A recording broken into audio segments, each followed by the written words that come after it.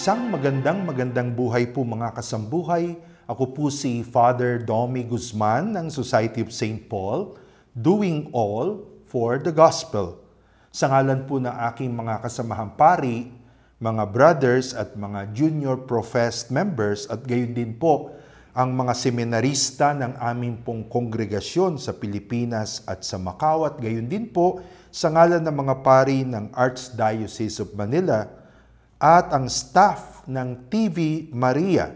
Uh, inaanyayahan po namin kayong makiisa, makimisa ngayon pong ika labing siyam ng Mayo 2019, 19th of May 2019. Ito po ang ikalimang linggo ng Pasko ng muling pagkabuhay. At uh, siyempre po, nais po nating uh, ipanalangin ang ating mga regular na mga kadaupang palad sa atin pong apostoladong ito, ang ating pong mga OFWs, uh, lalo-lalo na po yung mga seaman at sea women, ang ating mga homebound na mga may sakit, uh, yung iba't ibang mga cancer patients na nagpapalakas sa inyo pong mga bahay, ang mga elderly po, mga caregivers, relatives at uh, mga professionals po ng mga caregivers, at uh, ang atin pong mga persons on duty, mga militar, police, doktor, at mga health workers na kailangang humimpil sa kanilang mga emergency areas. Of course, we would like to pray para po sa ating mga mission partners. Ang grupo po ni Brother Alex Pideris, dyan po sa Canada. Pinapanalangin natin ang kanilang namayapa na kasamahan si Brother Juanito Santos, no? Ang uh, Santos Merck family, ang uh, Reyes family, ang Adorna family, lahat po kayo dyan sa Canada. Ang ating mga long time na mga kasambuhay, ang uh, Masigan family, Chowa family, Arujado at Villaruz family, ang Jacob family, ang uh, pamilya po ng San Miguel, dyan po sa Marikina, uh, ang pamilya ni Corazon Ochoa, Rosita Cauyan, uh, of course, the Gonzales family ng ating kapatid at kaibigan na si Alma. At gayon din po ang ating mga long time na mga love offerers, sina Romel Salvador, Gemma Candela, May Asuncion Resio, Rachel Esteban, at Leilani Paladio Himotea. We'd like to greet yung ating mga co-pilgrims po, yung spell group oh, ng March 2019 na kasama natin sa Holy Land. Gayon din po ang group ng, ng Recto and Friends, ha, kasama rin po natin sa Holy Land uh, nung March 2019. And then, of course, nung October 2018, ang napaka-aktibong grupo po ng uh, uh, Yellow Group ah, dyan po sa Holy Land noong October 2018 ang ating pong mga kaibigan ng mga OAR ng mga pari si uh, Father Randy, Father Charlie, Father Joe Albs, uh, si Father Joy ng Merinol at uh, siyempre po yung magpipinsan, magkakapatid, no? Sina Geraldine, Grace, uh, at uh, si Jane, gayon din po si uh, Willie at Arlina Onglao. At uh, siyempre ang grupo po ni na uh, Grace Polido Tan at Nonoy Tan at um, ang Tantuico Group, ang grupo ni na Highland at ang kanyang buong pamilya, ah, si Rosalie at si Chrissy at si Rosebell at si William, at gayon din si Anton at si Juliet O'Reilly. Um, we'd like to pray for all your intentions. And uh, of course, we would like to take note of our mga messages na tinanggap po natin either sa ating YouTube o sa ating Facebook Messenger accounts. Uh, isa na po riyan galing kay Miguel Alcantara sa Riyadh, sa Kingdom of Saudi Arabia. Salamat sa iyo pong uh, offering. And we'd like to pray for your health, for your family, and for your work, and for the souls of Crisanto Alcantara, Bernardo, Marti- Martiniana Alcantara, Celestino Alcantara, and all the poor souls in purgatory. And uh, yeah, sana nga ay uh, uh, you are blessed with uh, your US visa, ha? Uh, Miguel Alcantara. Si Rosette Canoso, gusto rin naman nating isama sa panalangin ang good health po ng kanyang mga nais ipanalangin si Tim Lam, Carmen Lam, ang dalawang anak nilang si Leonard Lam at Nicholas Lam. At gayon din po nais niyang ipanalangin natin yung kanila pong lolo ng Lam family, si Lam Hokwing. Yan. Sabi po ni Rosette, uh, Napakabait daw po netong pamilyang ito na pinagtatrabahuan niya for the past 26 years. And yung nga, meron pong cancer itong si Lam Hock Wing. Yan, we'd like to pray in a special way para sa kanya. Si Maria Bida Hasmin, kanya successful po ang operation ng anak kong si Kyle Adrel Jos Hasmin. Salamat kanya. Sana panalangin daw natin ang kanyang recovery, full recovery, at uh, patuloy pang uh, ipanalangin uh, sa mga darating pang operasyon. So may mga series of operation itong anak ni Maria Vida Hasmin. No? So we'd like to accompany the family with our prayers. Si Mel Garcia, kanya Isama po ninyo sa panalangin ang paggaling ng aking ninong, si Reverend Father Romy M. Mendoza ng Archdiocese ng Lipa na nagkaroon po ng bypass surgery uh, dyan sa Cardinal Santos Medical Center. Yeah, we'd like to reach out and lift up in prayer si Father Romy Mendoza ng Lipa. No? Si Jeffrey Porcalia, uh, we'd like to pray for strength and clear mind para kanya pong madaanan ang kanyang mga pinagdadaanan, anuman yung mga dinadaanan na yan. Ha? Oh, oh. And then, of course, we pray for the soul of uh, his father na nawa ay uh, nasa piling na ito ng ating mapagmahal na Panginoon. Si Ida Ortega Imperial would like to include yung kanyang mommy who has suffered stroke and mild dementia. Ang pangalan po ng kanyang mommy ay si Zaida Ortega Imperial. And sabi nga po ni Ida, uh, what is uh, sad for her is that kailangan niya magtrabaho, so then the mommy is left to the care of the nanny, No? So, totoo po yan. Yan pong isa sa mga napakahirap na maganap sa buhay. That's why, you know, I appreciate my sister na nag-retire na ho ng maaga para po sa aking tatay at nanay para talagang masubaybayan niya ang aming dalawang magulang. I'd like to acknowledge that and appreciate that sa aking sister. And uh, nais din po ni Ida na ipanalangin natin ang kanyang anak uh, who is staying kasama po ng kanyang uh, uh, mami uh, na nagkaroon naman yung anak niya ng aortic valve replacement. Wow, talaga naman, no? So, Ida, hawak lang. Ha? Hawak lang kay Lord. God is greater than all our realities. Yan ang palagi kong sinasabi.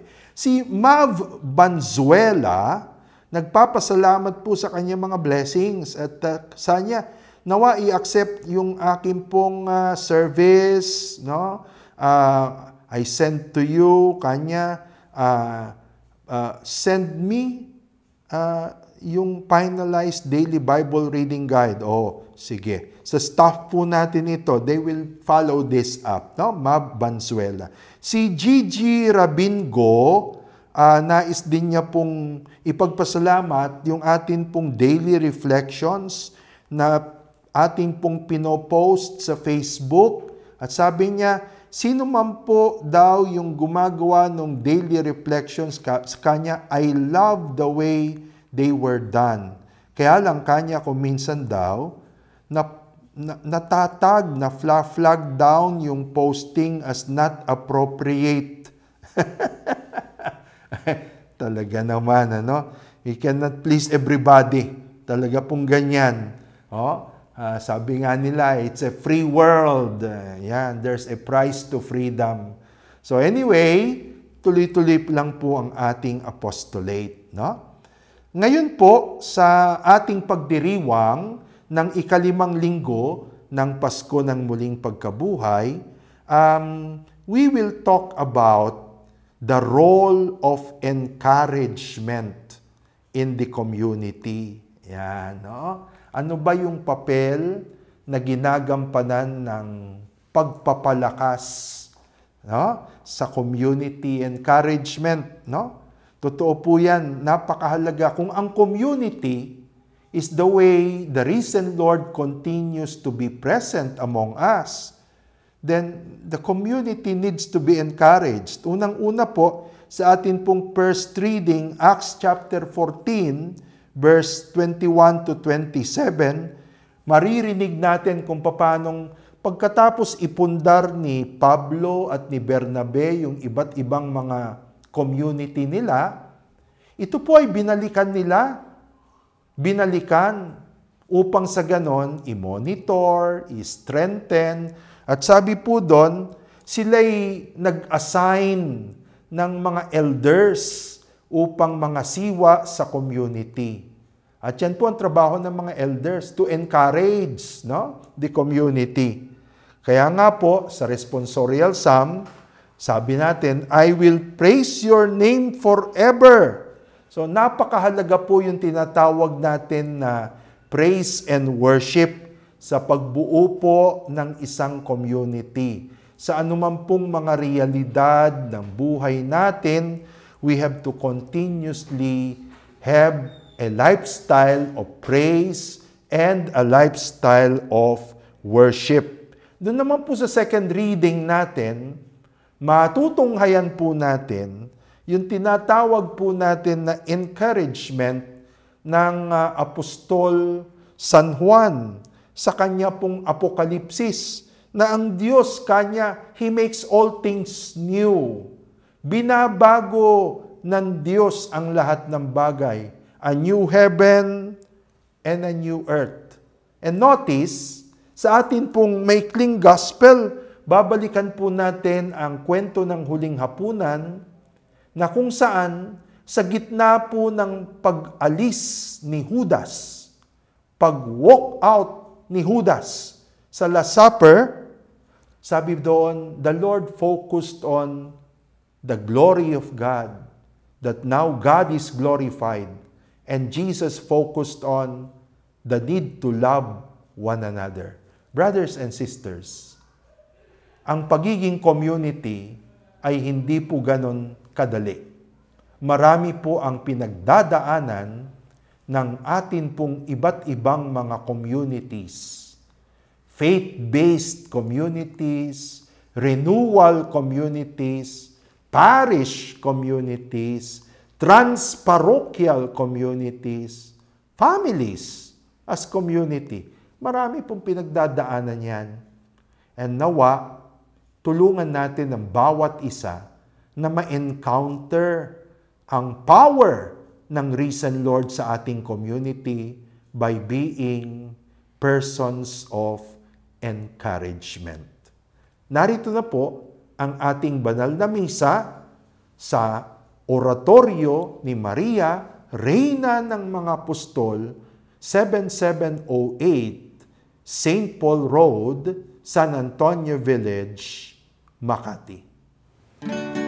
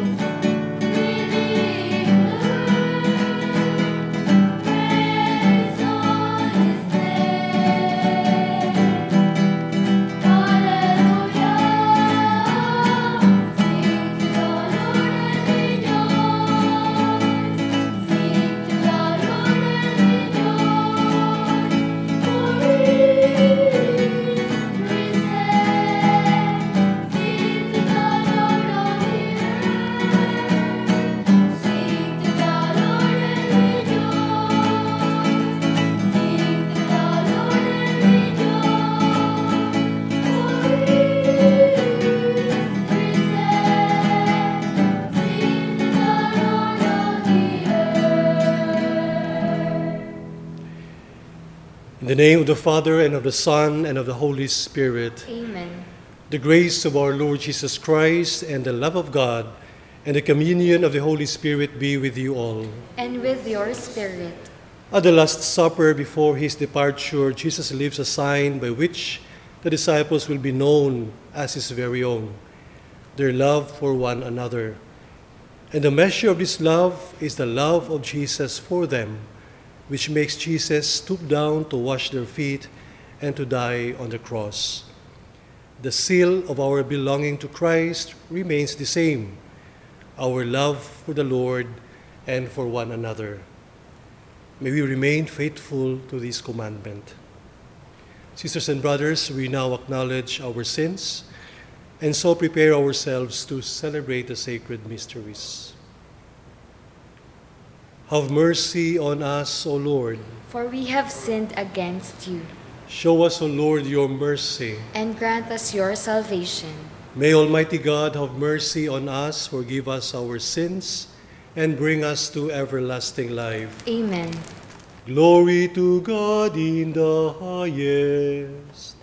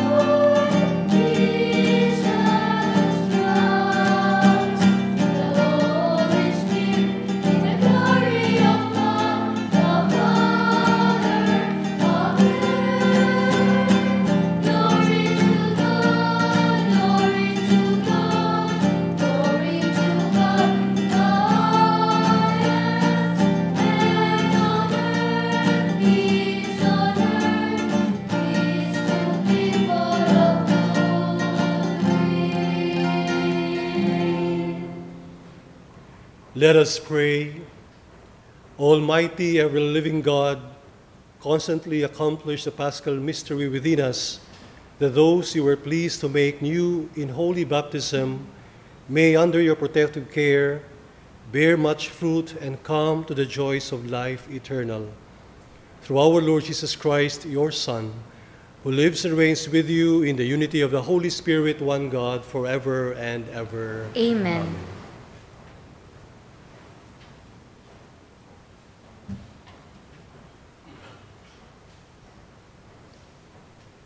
A reading from the Acts of the Apostles. After Paul and Barnabas had proclaimed the good news to that city and made a considerable number of disciples, they returned to Lystra and to Iconium and to Antioch. They strengthened the spirits of the disciples and exhorted them to persevere in the faith, saying, It is necessary for us to undergo many hardships to enter the kingdom of God. They appointed elders for them in each church, and with prayer and fasting, commended them to the Lord in whom they had put their faith. Then they traveled through Pisidia and reached Pamphylia. After proclaiming the word at Perga, they went down to Attalia. From there, they sailed to Antioch, where they had been commended to the grace of God for the work they had now accomplished. And when they arrived, they called the church together and reported what God has done with them and how he had opened the door of faith to the Gentiles. The word of the Lord. Thanks be to God. I will praise your name forever, my King and my God. I will praise your name forever, my King and my God. The Lord is gracious and merciful, slow to anger, and of great kindness. The Lord is good to all and compassionate toward all his works. I will praise your name forever, my King and my God. Let all your works give you thanks, O Lord, and let your faithful ones bless you.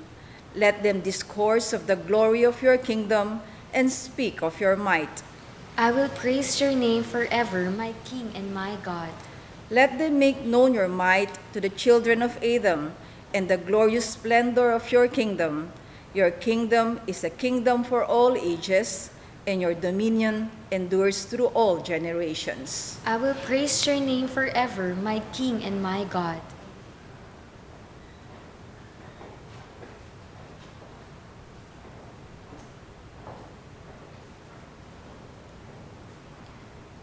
A reading from the book of Revelation. Then I, John, saw a new heaven and a new earth. The former heaven and the former earth had passed away, and the sea was no more. I also saw the holy city, a new Jerusalem, coming down of, out of heaven from God, prepared as a bride adorned for her husband. I heard a loud voice from the throne saying, Behold, God's dwelling is with the human race. He will dwell with them, and they will be his people, and God himself will always be with them as their God. He will wipe away every tear from their eyes, and there shall be no more death, or mourning, wailing, or pain, for the old older has passed away. The one who sat on the throne said, Behold, I make all things new. The word of the Lord. Thanks be to God.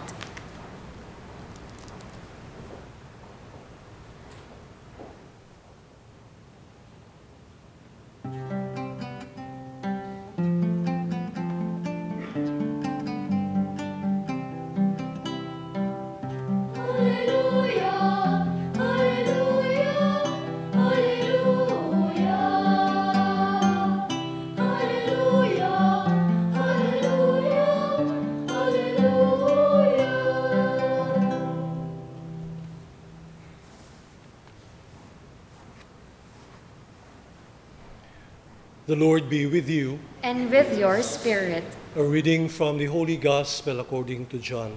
glory to you, O Lord.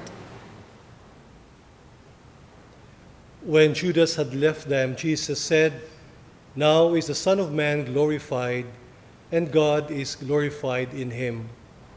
If God is glorified in him, God will also glorify him in himself, and God will glorify him at once.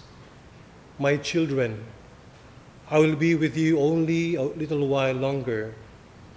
I give you a new commandment love one another as I have loved you, so you also should love one another. This is how all will know that you are my disciples, if you have love for one another. The Gospel of the Lord. Praise to you, Lord Jesus Christ.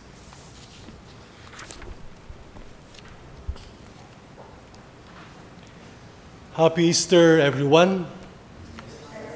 Isang maligayang pagbati din sa lahat ng ating mga viewers, listeners, especially those who are abroad, ang ating mga kababayan na nasa Dubai, sa Amerika, sa US, Australia, lahat na ng bansa. I'm sure during the Sundays of Easter, sila po ay tumututok sa atin sa Sambuhay TV Mass. And I greet you all. May God's grace and love be upon you. Nasa ikalim- ikalimang linggo na po tayo ng ating ah, pagdiriwang ng Easter. At nakita natin kung paano kumikilos ang Diyos sa ating buhay. If there is one thing that we really desire during this Easter season, and I'm sure you are aware of this, is how we grow in love with God and others. Kung titingnan natin, it is really our relationship with others and with God that matters so much in our life. Otherwise, yung lahat ng ating pagdiriwang, ang ating rituals, ang ating mga ginagawa sa buhay, if these things are not motivated by love, parang wala, no? Walang silbi. And so, my dear brothers and sisters, this Sunday, fifth Sunday of Easter, we are invited to look into our hearts once more and to see what kind of love do we have. Now, we are aware of the saying na ang taong hindi nagmahal ay para daw walang silbi sa buhay. Ano? That person cannot find meaning in life. And we also say that we have to love in order to find purpose in life. But do you know that even before you love others, there is one principle that we have to remember. Principle that is the foundation of our loving others and loving God. And this principle is we have to allow God to love us. Our first calling then, our first calling is not to love others, is not to do something good for others. Our first calling is to be loved by God. Allow ourselves to be loved by Him. Only when we experience God's love, then we can love others and stay in love. Sabi nga nila, madali lang ma-in love. Yung mga bata dyan, na-in love na ba kayo? Have you been in love? Of course, no? Hindi lang once, twice, several times. It's easy to be in love. Ngayon, ang mga kabataan may mga gadgets na, no? So they can easily access to a lot of things. Ang daming lang friends sa Facebook, halimbawa, one, may yung aking ah, pamangkin, nagmamayabang pang sabi niya, Father, Father, Tito Father, sabi niya, I have 1,500 friends. Sa iyo, Tito Father, ilang ba ang friends mo? Sabi "Ay, all 200 lang ata sa akin. Then I asked him, lahat ba yan ay kaibigan mo siya? Of course. So they easily get into relationship, friendship, get virtual, and then they fall in love. It is easy to fall in love, but it is difficult to stay in love. And so today, our readings give us a, uh, ideas or clues how to stay in love and how to make that love purer. Jesus said in the gospel, You must love. Love one another as I have loved you. And you will be identified as my followers the way you love each other. At tatandaan niyo ba yung sinabi ni Jesus beforehand? Sabi niya, love one another as you love yourself. Which is true. But the next level of loving pala is loving each other not just according to my own standard of loving, but according to God's standard of loving, according to Jesus' standard of loving. That's the next level of loving. If you want to grow in love, then we look into Jesus' way of loving. And how did Jesus love? In the gospel, we have three actually, or one. Jesus loved first by washing his disciples' feet. You want to stay in love? Wash the feet of others. Medyo figurative language to, no? Metaphorical. But washing the feet pala ibig sabihin ay serving others. Getting out of yourself, your comfort zone, to serve others. Look at your parents. By attending to your needs, cooking your food, cleaning your clothes, washing your clothes. Although we can say na our parents do that out of duty, no, they do that out of love for you. So washing each other's feet, serving. Not because it is simply your duty, you serve because there is love in your heart. You want the person to grow, you want the person to be happy, right? That's why you serve. Kahit na minsan nakikita mo, hindi bumabalik yon, no? Yung binibigay mo, hindi bumabalik. Bigay ka na lang bigay, serve ka na lang serve. Sometimes you don't even receive a thank you. I gratitude, I, I, I, I you know, a uh, grateful, you know, remark. Wala ngang tapik sa balikat, no? Minsan, dinire-reject ka pa, kino-question mo pa yung pagsaserve mo. But that is precisely one gesture, one standard of Jesus by washing the feet of others. Second, how do we stay in love? How do we grow in love according to Jesus, the kind of love that Jesus gave? By breaking bread with others. Breaking bread with others. It means fellowship, being with others. When you break bread, you are willing to share something significant about you. In the Gospels, we find actually 21 verses about breaking bread. One significant scene of Jesus breaking bread with, with his disciples took place during the Passover meal. Before his passion, he stayed with his disciples and he breaks bread with them. Another beautiful story of Jesus, the risen Christ breaking bread with the disciples, yung kwentong uh, the road to Emmaus. Are you familiar with that uh, story? No? The two disciples were walking out of Jerusalem, going out out of the, the, the city. They were they were confused and they were sad because of what happened to Jesus. And while discussing around the road, a stranger eh, joined them and then the stranger also joined their conversation only when the stranger started to go over the events, tracing the history of the things that happened in Jerusalem, and explaining to them the details where they felt their hearts were burning. Sila mismo nagsabi, yung dalawang disciples, is it, uh, did our hearts burn, no? Parang may ramdaman tayong kakaiba habang nagsasalita siya sa atin. So breaking bread with them, it means sharing with your loved ones, with others, their passion, even their problems, bearing each other, enduring. That is the meaning of breaking bread. Because if kung titingnan natin, tayo din ay parang tinapay eh. If we allow ourselves to be broken by God, to be shared to others. That's the meaning of the Eucharist. The breaking of bread goes beyond what we see. It also points to our lives. When we are prepared, God can take us and He can break us so we can be given to others. The third way of loving according to Jesus is ito, pinakamalalim na ito, by suffering and dying on the cross. How did Jesus love? Sabi nga ni Father Ramil, no? Ganyan daw, no?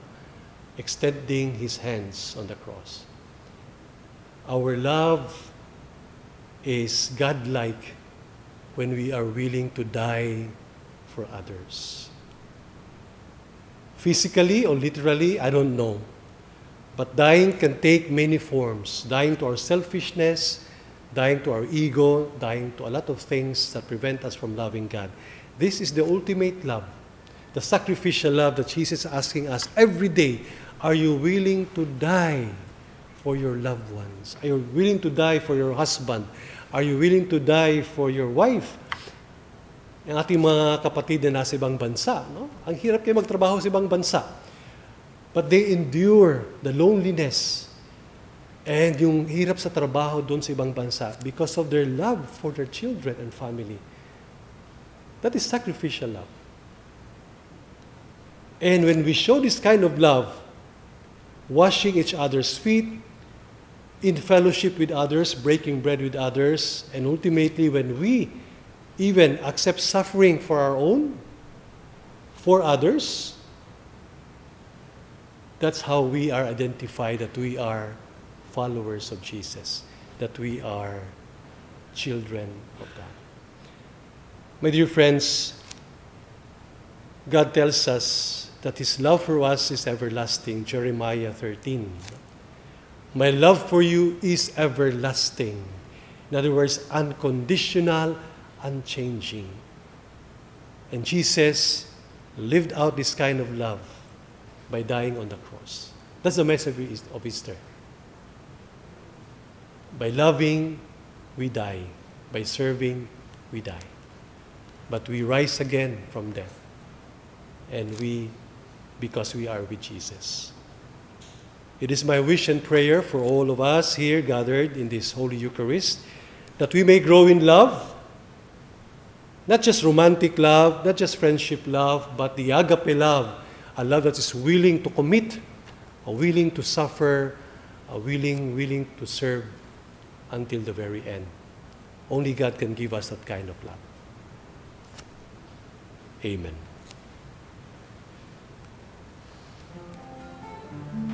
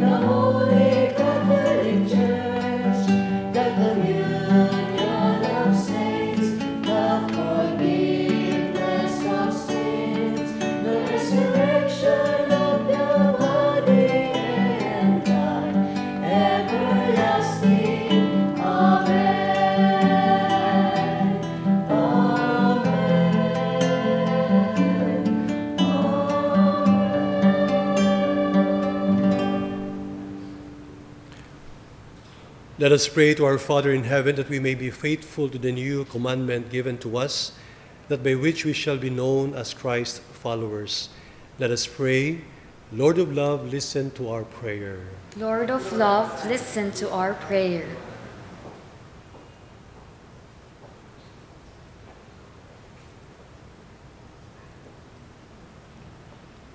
For the leaders of the church, may God's love strengthen and nourish them as they defend the sanctity of life and balance justice. We pray Lord of love, listen to our prayer. for those who do not believe in God or in Christ Jesus. May they recognize in the lives of Christians the spirit of the Lord's love and mercy, so that one day they too may gladly call on the one true God and the one Savior of the world. We pray Lord of love, listen to our prayer. for our newly elected national and local leaders. May the Lord give them help, grace, and wisdom so that they may become more responsible, accountable, and trustworthy in fulfilling their fresh mandate, we pray Lord of love, listen to our prayer. for those in special need. May the Lord heal the sick, comfort the suffering and the dying, give safety to travelers, and free those unjustly deprived of liberty.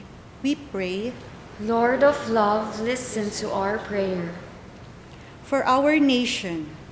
May we work in unity and peace to break the walls of division, to heal the wounds of indifference, and bring justice to the poor. We pray Lord of love, listen to our prayer. God our Father, we, your children, come before you. Renew our hearts and give us love which knows no limits, that we may be true disciples of Jesus Christ, your Son and our Lord. Amen. Amen.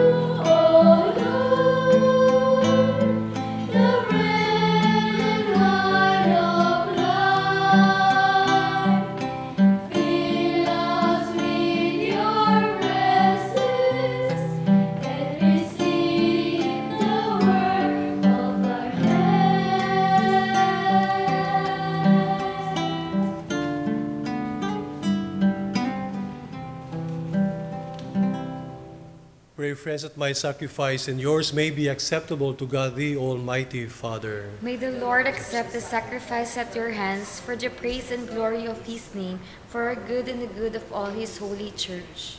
O God, who by the wonderful exchange effected in this sacrifice have made us partakers of the one supreme Godhead, grant, we pray, that as we have come to know your truth, we may make it ours by a worthy way of life, through Christ our Lord. Amen. The Lord be with you. And with your spirit, Lift up your hearts. we lift them up to the Lord. Let us give thanks to the Lord our God. It is right and just. It is truly right and just, our duty in our salvation at all times to acclaim you, Lord, but in this time above all to laud you yet more gloriously when Christ, our Passover, has been sacrificed. Through him, him the children of light rise to eternal life, and the halls of the heavenly kingdom are thrown open to the faithful. For his death is our ransom from death, and in his rising the life of all has risen. Therefore, overcome with paschal joy, every land, every people exalts in your praise, and even the heavenly powers with the angelic hosts sing together the unending hymn of your glory as they acclaim. Holy,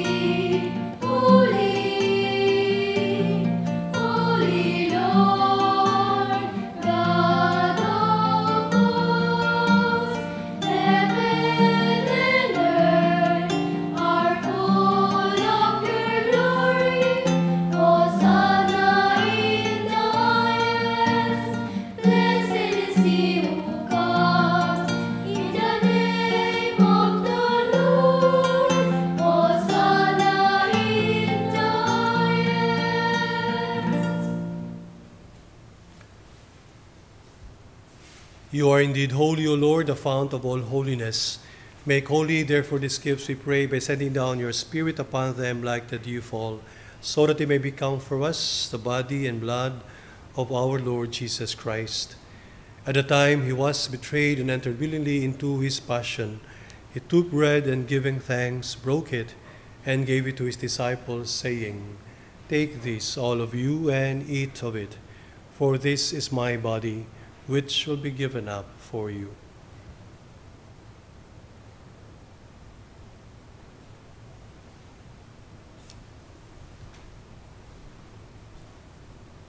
In a similar way, when supper was ended, he took the chalice and once more giving thanks, he gave it to his disciples, saying, Take this, all of you, and drink from it, for this is the chalice of my blood, the blood of a new and eternal covenant, which will be poured out for you and for many for the forgiveness of sins. Do this in memory of me.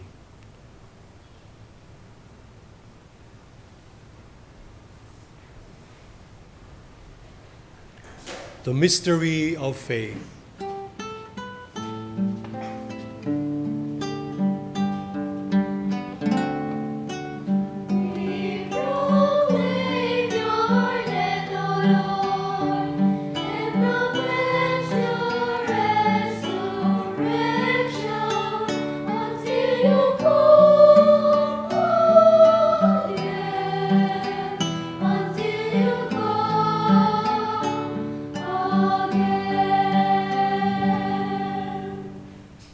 Therefore, as we celebrate the memorial of his death and resurrection, we offer you, Lord, the bread of life and the chalice of salvation, giving thanks that you have held us worthy to be in your presence and minister to you.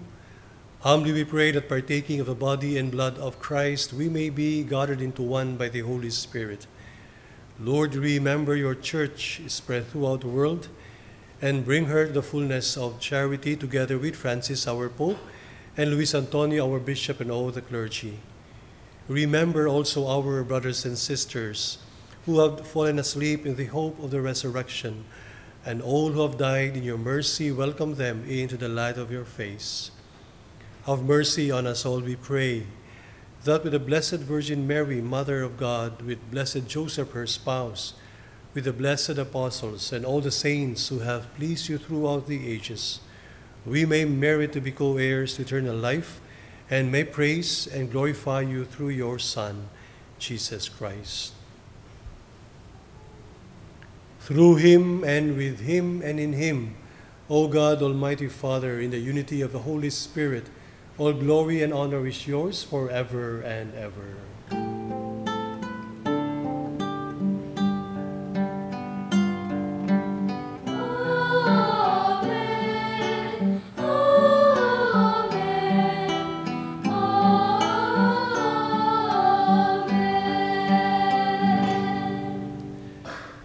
The Savior's command and form of divine teaching, we now dare to say,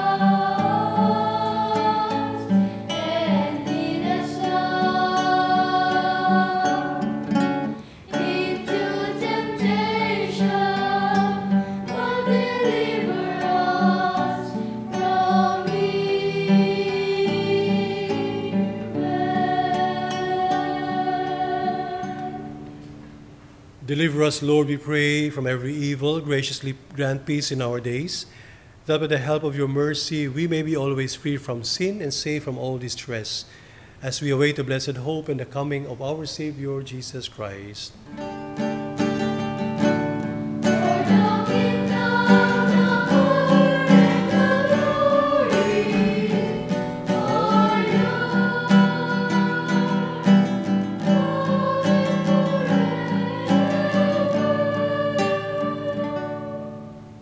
Jesus Christ, you said to your apostles, Peace I leave you, my peace I give you. Look not on our sins, but on the faith of your church, and graciously grant her peace and unity in accordance with your will, who live and reign forever and ever. Amen. The peace of the Lord be with you always. And with your spirit. we offer each other the sign of peace. Peace be with you. Peace be with you.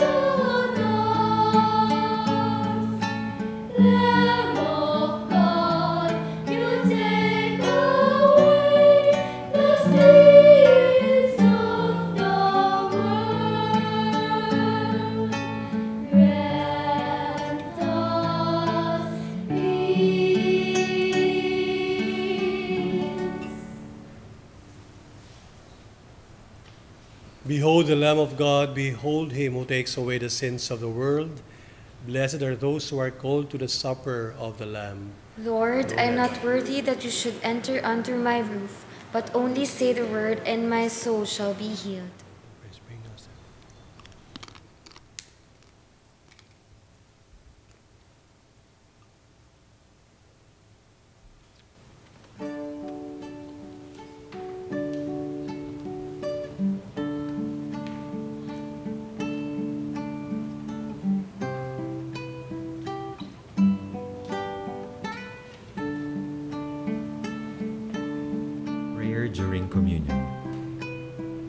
For those who cannot receive communion, join us in praying the spiritual communion.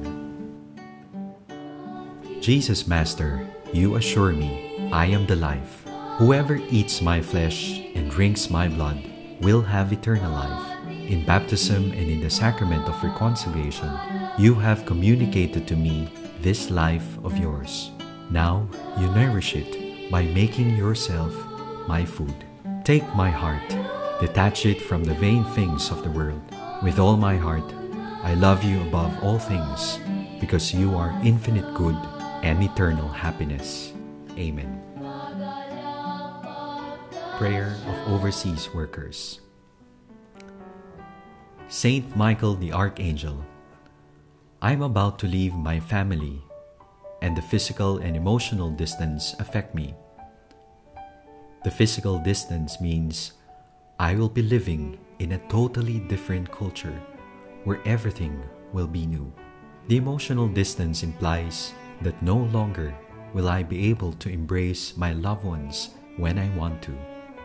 You have done special mission for God, and you did it confidently, trusting that everything will be all right because our Creator has everything in His hands.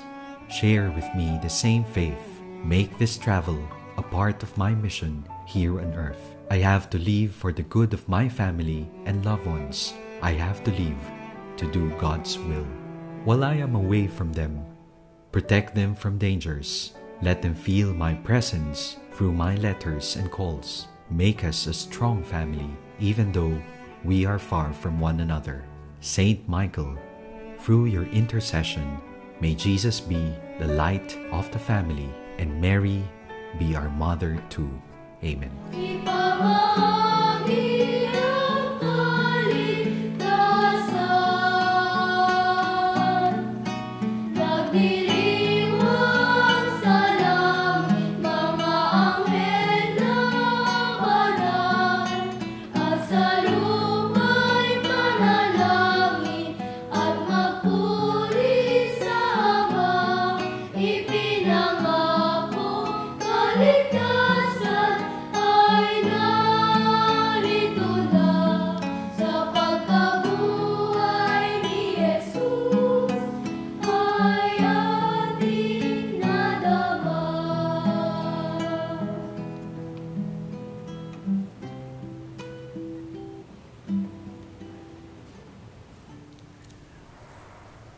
Let us pray. Graciously be present to your people, we pray, O Lord, and lead those we have imbued with heavenly mysteries to pass from former ways to newness of life. Through Christ our Lord. Amen. The Lord be with you. And with your spirit. Bow for the blessing. May your family always rejoice together, O God, over the mysteries of redemption they have celebrated, and grant its members the perseverance to attain the effects that flow from them. Through Christ our Lord. Amen. And may the blessing of Almighty God, the Father, the Son, and the Holy Spirit come down on you and remain with you forever. Amen. Go in peace of the risen Lord. Thanks, Thanks be, be to God. God.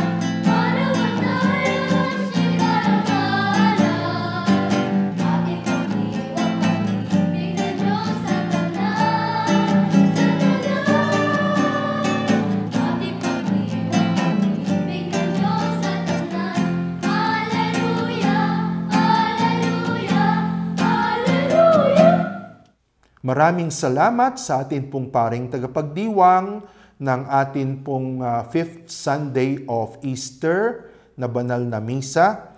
And um, tayo naman po'y dadako sa atin pong munting katikismong pabaon para po sa linggong ito at tatapusin na po natin ang atin pong exposition tungkol po sa Gaudete et Exultate. Ito po yung pangaral ni Pope Francis na kanya pong ah, ipinalabas ng March 19, ah, 2019, ah, 2018 na kung saan po ay inilarawan ni Pope Francis what is holiness in the Church of today. Sa huling bahagi po ng kanyang sulat na Gaudete et Exultate ay ipinakita po ni Pope Francis na sapagkat napakarami at nagbabago palagi ang atin pong mga pinagdadaanan na mga challenge, na mga realities ng buhay po natin sa ating pong panahon. Napakabilis po ng buhay. Mahalaga kanya sa pagiging banal sa ating panahon, yung tinatawag po natin na discernment. Okay?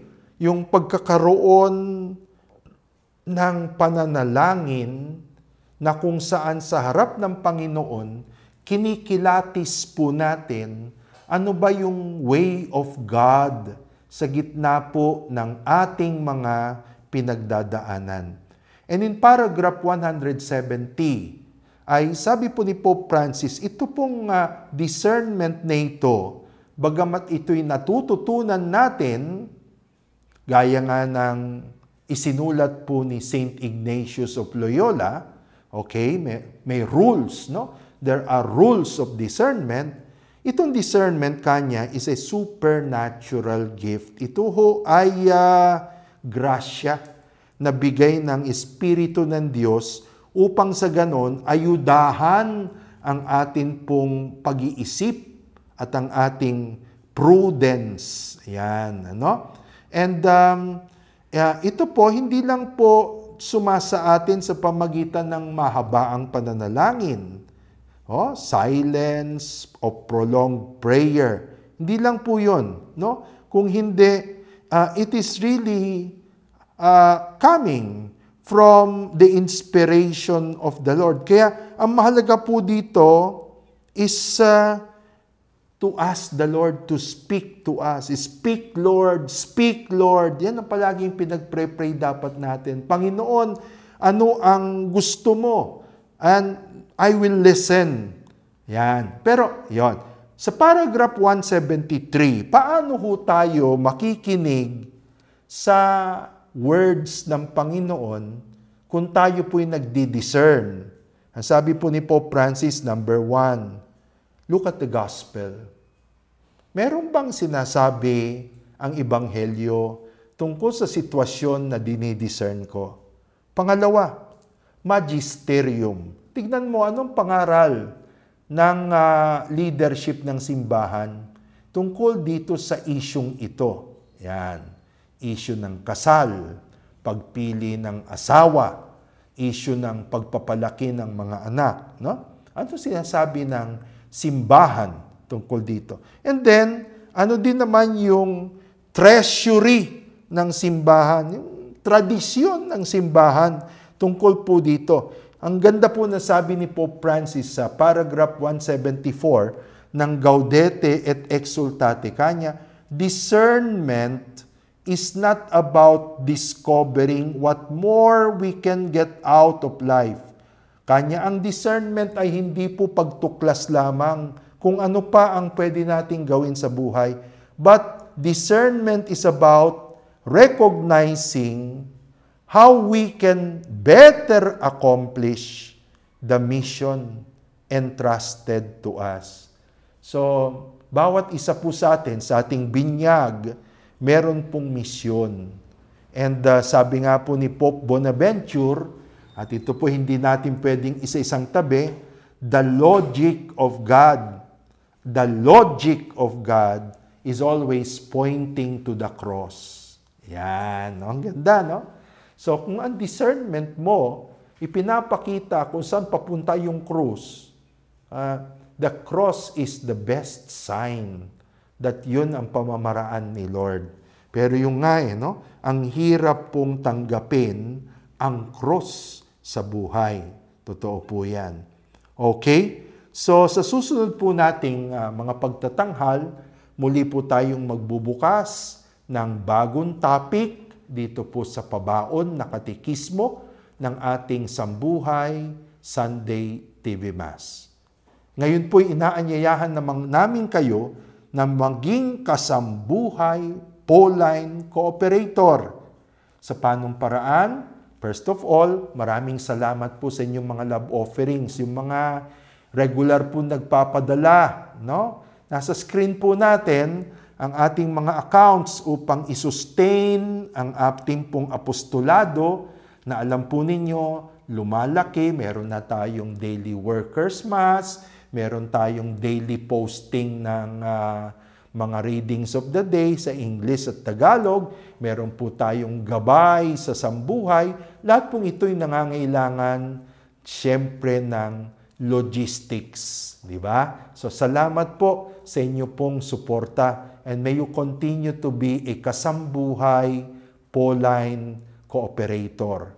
Pangalawa po, you can be a kasambuhay Pauline cooperator by spreading the news. Kaya nasa screen naman po natin ang iba't ibang mga cyberspace account po natin para sa apostoladong ito. Ito po'y ipamudmud ninyo sa inyong mga kakilala, lalo-lalo na po sa abroad. No? And then, of course, you can be a mission partner, a kasambuhay, Pauline cooperator by texting us yung inyo pong mga feedbacks at mga prayer intentions. Okay? Sa ngalan po ng SPAB, St. Paul Audiovisual Sambuhay TV Team, si Father Resty de la Peña, ang atin pong mga kasamahang juniors na sina Edward Dantes at Kib Di Mataktak. Oh, perpetual na pala itong si Kib, no? binabati natin, siya po ay perpetually professed na. Doing all for the Gospels. Iniiwan po namin sa inyo ang panalangin ng aming founder, si Blessed James Alberione, to spend the week well. My dear and sweet Mother Mary, keep your holy hand upon me. Guard my mind, my heart, my senses, that I may never commit sin. Bless my thoughts, affections, words, and actions, that I may always please you and Jesus, my God, Jesus and Mary, give me your most holy blessings. Amen.